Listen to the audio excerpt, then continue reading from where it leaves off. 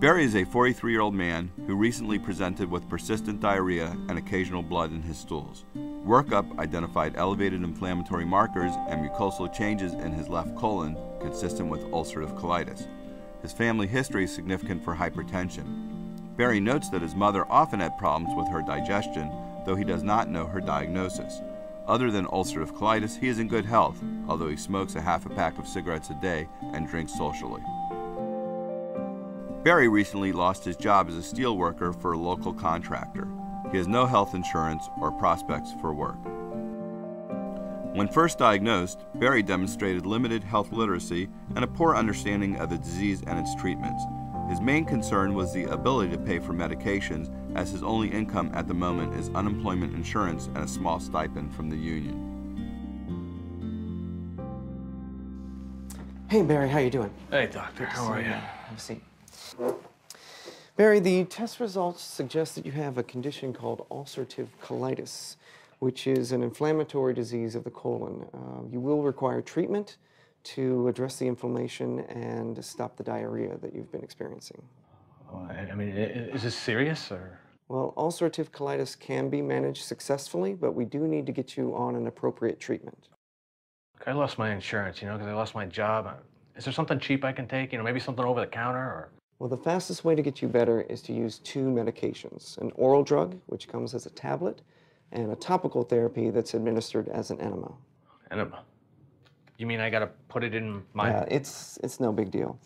I'm going to write you a prescription for oral mesalamine, which I need you to take three times a day, and a steroid enema, which you're going to need to use daily for now. And I need you to hold the enema inside you for 30 minutes for it to be effective. I mean, do I really need this? It's. it's just gonna be expensive? Well, using both agents is the most effective way to stop your diarrhea. Uh, once the symptoms resolve, then we can talk about maintenance therapy. Yeah. All right. I just need you to see the office staff before you leave and get a follow up appointment. Okay. All right. Okay? Thank you, doctor.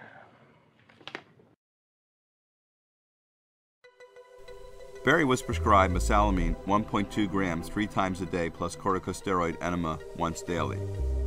However, he did not successfully retain the enema and gave up after one try.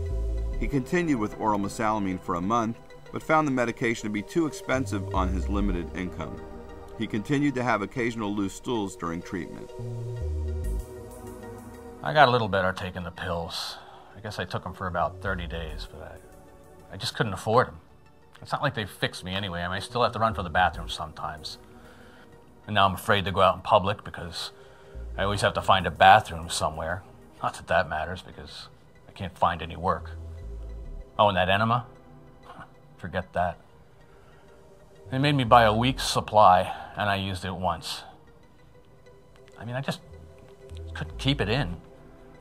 What were they expecting anyway?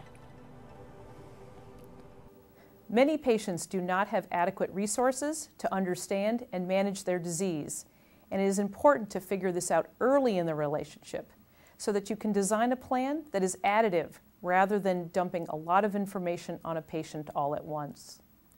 Ask him what sort of medication coverage he has, and if it is severely limited, then offer the least expensive therapy with an explanation of why it may not work so that he doesn't have false expectations. The minute that the patient starts to ask about cost, even before side effects, may be a clue that you are going to have an issue. All patients should know about the existence of the Crohn's and Colitis Foundation of America, the CCFA. There are chapters in most states or regions, and it is an excellent source for up to date, unbiased information for those with access to a computer. 1 800 My Gut Pain is an easy phone number to remember and is a phone line for direct questions. When giving information, stop periodically and have the patient recite it back to you so that you know that they understood. Avoid terms like mucosa, induction, and dysplasia, as only those with a medical background are going to understand what those terms mean. Write things down for the patient or type them out on a computer that you may have in the office so that they can take home the main discussion points. Barry, how you doing? Hey, Good doctor. to see you. Hey. Have a seat. Barry, the test results suggest that you have a condition called ulcerative colitis, which is an inflammatory disease of the colon. Um, you will require treatment to address the inflammation and to stop the diarrhea you've been experiencing. Well, it sounds serious. It's Ulcerative colitis is an inflammatory bowel disease, which means you have inflammation in your colon that causes you to have loose stools and sometimes blood in your stools. So, uh, yes, it can be serious if left untreated because you could lose significant blood over time. We also want to control the inflammation because chronic, ongoing inflammation can increase one's risks for developing colon cancer. what? What? You mean I'm gonna get cancer now? Research suggests that people with ulcerative colitis have an increased risk for cancer the way that uh, cigarette smoking increases the risk for lung cancer. And again, treatment for ulcerative colitis has been shown to reduce this risk. I lost my job and I don't have any insurance. I mean, is there something cheap I can take? You know, maybe something over the counter. Well, not over the counter, no. You will require prescription medication. The goal of this treatment is to reduce the inflammation in your colon and to stop the symptoms that you've been experiencing. Um, there are less expensive options for treatment, and we can discuss those. For now, I think the fastest way for you to get better is to use a combination therapy, which consists of an oral drug, which is a tablet, and a topical therapy that's administered as an enema. An enema. That's right.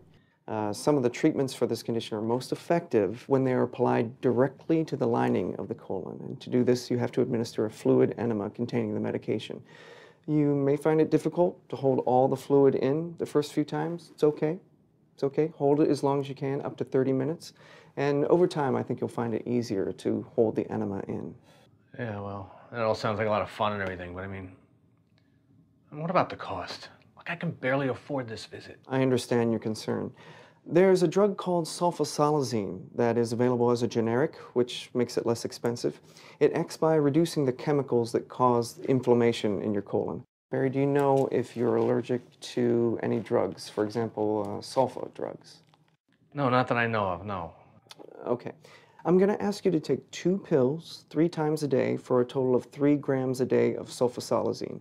Um, you may experience some side effects, upset stomach, uh, loss of appetite. If these occur, they're going to get better over time, so continue taking the medication. Um, you may also notice uh, yellow-orange discoloration of your urine. It's natural, nothing to worry about. I also want you to take a supplement that contains folate because sulfasalazine can cause your body to lose folate, and uh, folate is an important vitamin. Wow. Are you trying to make me better or worse, doctor? I mean, that's a lot of medicine. I, I just don't know if I can afford all of this.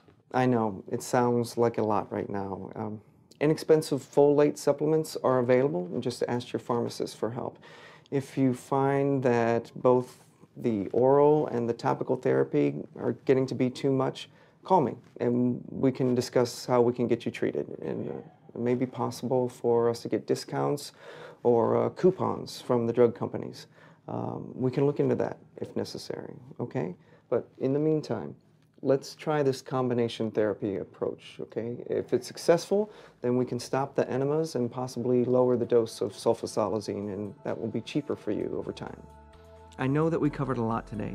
Let me write out a few notes that you can take with you and review later, okay? If you have any questions at all, uh, take a card from up front, uh, my business card, and give me a call. Okay, Barry?